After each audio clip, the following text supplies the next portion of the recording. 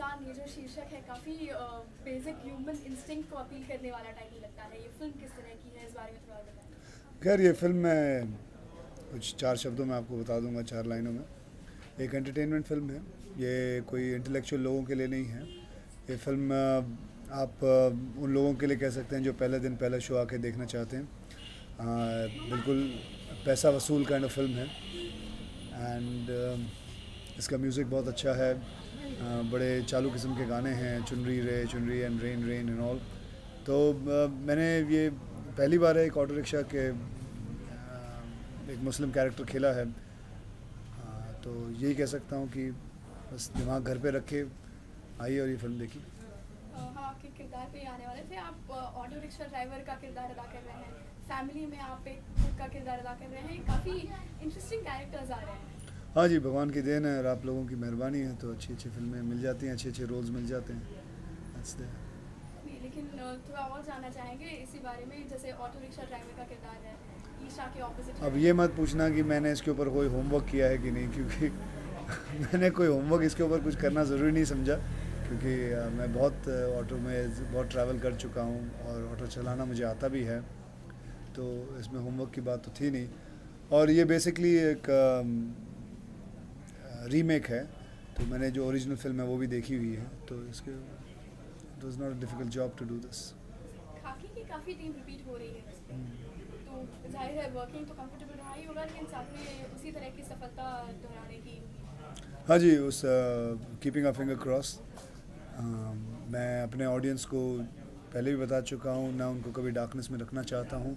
जो फ़िल्म से एक्सपेक्टेशंस हैं वो यही हैं कि पैसा वसूल का इन फ़िल्म है। आप जाइए इन्जॉय करिए इसमें। It's a full out and out entertainment film दो मिनट के लिए आपको मौका नहीं मिलेगा कि आ, सोचने के कि क्या हो रहा है क्यों हो रहा है। आपको आराम आराम से सब कुछ समझ में आएगा। एंड यू वोंट फील कि यू हैव बीन चीटेड क्या शायद इन्हीं इंटरेस्टिंग किरदार या इंटरेस्टिंग फ़िल्मों के चलते 2004 आपके लिए इतना सक्सेसफुल रहा है शायद अब तुम्हारे कुछ होते फोर तो मेरे लिए, मेरे करियर का सबसे सक्सेसफुल ईयर रहा है। मेरे पास काफ़ी अच्छी अच्छी फ़िल्में मिली थी और काफ़ी अच्छी अच्छी फ़िल्में लोगों को अच्छी भी लगी। अभी देखते हैं कि 2005 कैसा रहता है। 2005 की ये पहली फ़िल्म है, फिर मेरे पास बेवफा भी आ रही है, वक्त है, वगैरह बहुत सारी और फ़िल्म हैं है बारे में हो है? उसके बारे में कुछ नहीं हो रहा है फ़िलहाल तो क्योंकि बहुत बार कोशिश की यहाँ कोई सबब में कोई जगह मिल जाए लेकिन मिल नहीं पाती। आ, मिलती भी है तो गवर्नमेंट सपोर्ट करती है करीब बहंदर में जाने के लिए। वहाँ तो मैं ना जाऊँ तो और स्टूडेंट को इधर जाएगा ही नहीं कभी। तो मुझे नहीं लगता यहाँ कभी मौका मिलेगा। But still I am still trying for it and I am sure I am going to succeed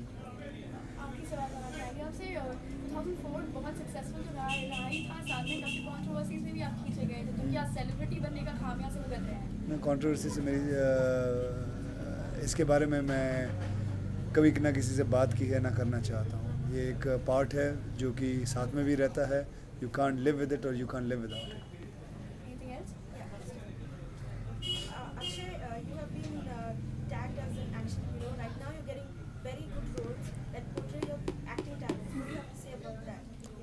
Well, uh, uh, four years back, I, five years back, I changed my views about um, only doing acting, uh, action roles. I went into and I tried different kind of roles like Hera Fairy or Dharkan or Ek Rishta or an or Khaki or Mujhse Shadi Karogi.